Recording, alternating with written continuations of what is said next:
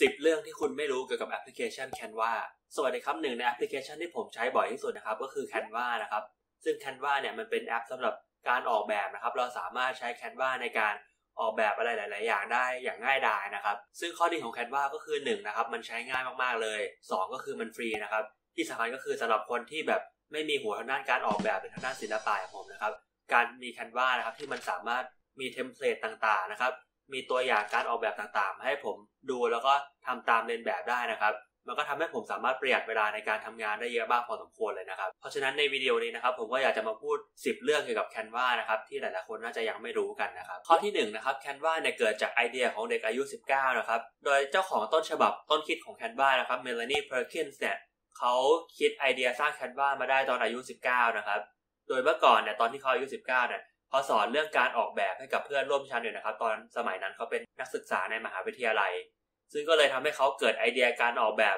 ระบบการ drag and drop นะครับ หรือว่าเป็นการลากภาพลงไปในเทมเพลตนะครับ เพื่อให้การออกแบบมันทำได้ง่ายขึ้นนะครับ ซึ่งเป้าหมายของการทำแบบนี้นะครับ ก็คือการอยากให้เพื่อนร่วมชั้นเนี่ยสามารถออกแบบหนังสือรุ่นได้ง่ายขึ้นนะครับ ซึ่งภายหลังไอเดียเนี้ยก็ได้ถูกพัฒนาให้กลายไปเป็น Canva ในอีกทีนึงข้อที่2นะครับ Canva เนี่ยมีผู้ใช้งานมากกว่า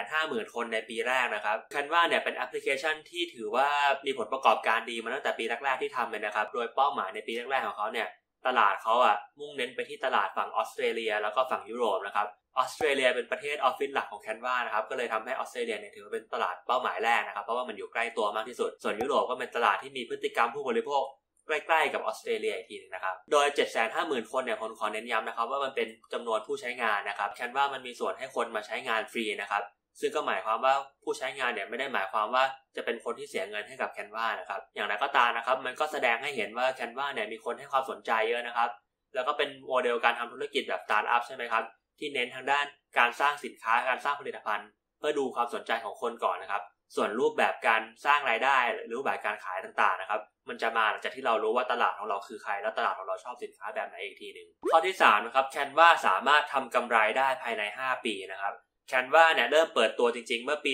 2012 นะครับและใช้เวลา 5 ปีในการสร้างกำไร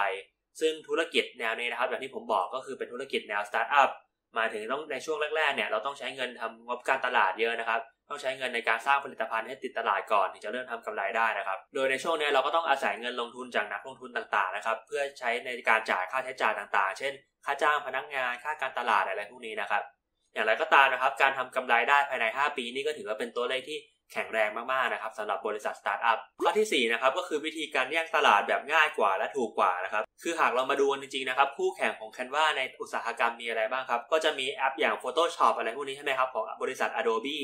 แล้วก็จะมีพวกแอปพลิเคชันของ Microsoft ต่างๆนะครับ อย่าง PowerPoint เนี่ยก็ถือเป็นแอปพลิเคชันที่ใช้ในการสร้างภาพสร้างเทมเพลตต่างๆ ได้เช่นกันใช่ไหมครับ อย่างไรก็ตามนะครับ จุดเด่นของ Canva ที่มีเหนือ Adobe หรือว่า Microsoft ก็คือ Canva เนี่ยหนึ่งคือใช้งานได้ง่ายมากกว่าเยอะเลยนะครับ เพราะว่า Adobe เนี่ยเราก็ต้องเป็นมือโปรในระดับหนึ่งนะครับ ถึงเราจะตัดต่อ Photoshop เป็น หรือว่าจะทำตัดต่อวิดีโอ หรือว่าใช้ Illustrator เป็นนะครับ ในขณะเดียวกันนะครับ PowerPoint ก็มีข้อจำกัดทางด้านการออกแบบเยอะเหมือนกันนะครับ อาจจะเหมาะการทำงานในแบบมืออาชีพมากๆนะครับ แต่ว่าก็ไม่เหมาะสำหรับการทำงานใช้ทั่วไปนะครับ อย่างคนทั่วไปนะครับทำภาพโปรโมทบน Facebook บนเพจ Instagram อะไรอย่างนี้ใช่ไหมครับเขาก็คงไม่ได้ใช้โปรแกรมอย่าง Photoshop หรือว่า PowerPoint นะครับในการออกแบบ ในส่วนนี้นะครับนอกจาก Canva เนี่ยจะใช้ง่ายมากกว่า Photoshop นะครับยังมีค่าใช้จ่ายน้อยมากๆนะครับหรือว่าก็ฟรีเลยนั่นเองนั่นแหละ คือ Photoshop เนี่ยถ้าจะใช้ให้มันเก่งจริงนะครับเราก็ต้องเรียนกันหลายสิบหลายร้อยชั่วโมงใช่ไหมครับแถมก็มีค่าใช้จ่ายประมาณหลายพันบาทต่อปีนะครับแต่ว่า Canva เนี่ยสำหรับมือใหม่ก็สามารถใช้แทนได้เลยทันทีนะครับแถมบางทียังทำออกมาได้ดีกว่าด้วยซ้ำนะครับข้อที่5นะครับสามารถตอบโจทย์ผู้ใช้งานได้ แล้วก็ตอบโจทย์ธุรกิจได้เช่นกันนะครับคือหลายคนอาจจะถามว่า Canva เนี่ยเป็นแอปฟรีเป็นโปรแกรมฟรีเนี่ย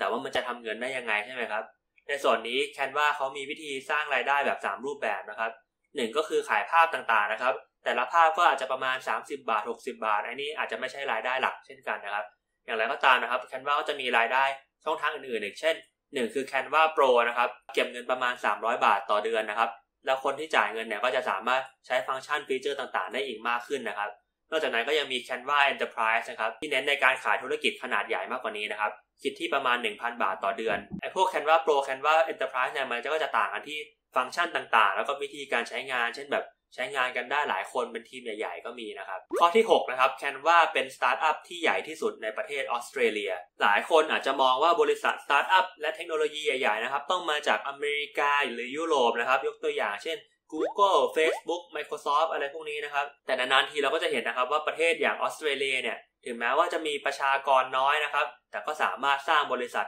ที่มีมูลค่าหลายหมื่นล้านบาทได้เช่นกัน ในส่วนนี้นะครับ Canva ก็เป็นบริษัทที่เรียกว่ายูนิคอร์นะครับ หรือว่าบริษัทสตาร์ทอัพที่มีมูลค่า 1,000 ล้าน US ดอลลาร์หรือมากกว่านะครับ และที่สำคัญที่สุดก็คือนะครับ เป็นเจ้าใหญ่ที่สุดในออสเตรเลียด้วยนะครับ เรียกว่าแซงอันดับ 2 มาเยอะมากประมาณ 2-3 เท่าเลยนะครับ ข้อที่ 7 นะครับ ปัญหาเรื่องทางด้านความปลอดภัยนะครับ คือที่ผ่านมาผมพูดอวย Canva ไปเยอะนะครับ ในส่วนนี้ขอไว้หนึ่งข้อนะครับไว้อธิบายเกี่ยวกับข้อเสียหรือว่าจุดด้อยของ Canva บ้าง คือในปี 2019 เนี่ย Canva เนี่ยเกิดปัญหานะครับ security breach นะครับ หรือว่ามีคนแฮ็กเข้าไปในระบบข้อมูลของ Canva นะครับทำให้ข้อมูลผู้ใช้งานนะครับประมาณ 139 ล้านคนนะครับ ถูกแฮ็กหรือว่าถูกขโมยไปนะครับ โดยข้อมูลที่ถูกขโมยไปก็รวมตั้งแต่ ชื่อจริงของผู้ใช้งานนะครับ ชื่อ username นะครับ ที่อยู่ต่างๆนะครับ แล้วก็มีพวกข้อมูลเรื่อง password ด้วยนะครับ ก็ถือว่าเป็นการเสียหายเยอะเหมือนกันนะครับทำให้ผู้คนหลายๆคนเนี่ยไม่ค่อยอยากจะไว้วางใจแคนวาในการให้ข้อมูลที่สำคัญสำคัญนะครับ ข้อที่8นะครับปัญหาของธุรกิจที่มีจุดแข็งด้านการออกแบบนะครับ คือในข้อที่แล้วผมบอกไปแล้วนะครับว่าแคนวามีปัญหาทางด้านการความปลอดภัยบ้างนะครับ แต่ว่าในข้อนี้มันก็จะมีปัญหาอีกปัญหาหนึ่งนะครับ ที่อาจจะยิ่งใหญ่กว่าทางด้านความปลอดภัยด้วยซ้ำนะครับ คือธุรกิจแคนวาเนี่ยตอนนี้เขามีจุดขายหลักคืออะไรครับ คือมันใช้ง่ายกว่าใช่ไหมครับ รูปแบบต่างๆ มันทำให้คนสามารถใช้งานได้ง่ายนะครับ เราแค่โยนภาพเข้าไปในส่วนนี้เราก็สามารถตกแต่งภาพให้มันสวยงามได้แล้วนะครับ อย่างไรก็ตามนะครับ ปัญหาของการทำแบบนี้ก็คืออะไรครับ คือแคนวาเนี่ยไม่ได้มีวิธีป้องกันตัวเองจากคู่แข่งนะครับ เพราะจุดขายหลักก็คือใช้งานง่าย และใช้งานง่ายก็หมายความว่าวันใดวันหนึ่งนะครับ บริษัทเจ้าใหญ่ๆ อย่าง Adobe หรือว่า Microsoft เนี่ย ก็จะสามารถลอกฟีเจอร์ต่างๆ ได้ง่ายเช่นกันนะครับ เพราะว่ามันไม่ได้มีการจดลิขสิทธิ์ทางด้านการออกแบบนะครับ ไม่สามารถทำได้ ซึ่งการลอกหรือว่าการขโมยไอเดียอย่างนี้นะครับ เราก็จะเห็นได้บ่อยๆ ใช่ไหมครับ Facebook หรือ Instagram นะครับ ที่สามารถลอกฟีเจอร์คู่แข่งอื่นๆ ได้ภายในไม่กี่เดือนนะครับ อย่างไรก็ตามนะครับ Canva เขาก็มีพนักงานมากกว่า 700 คนนะครับ ที่ดูแลเรื่องการออกแบบผลิตภัณฑ์นะครับ หากบริษัทอื่นๆ เขาอยากจะลอก Canva นะครับเขาก็ต้องทำการจ้างพนักงานที่มีจำนวนเท่าเทียมกันนะครับ ถึงจะสามารถสู้ได้ ซึ่งแม้แต่บริษัทใหญ่ๆนะครับการจ้างคน 700 คนเนี่ยก็ไม่ใช่สิ่งที่ทำได้ภายในวัน 2 วันใช่ไหมครับมันก็ต้องค่อยๆ ปรับตัวกันไปข้อที่9นะครับแคนวามีรายได้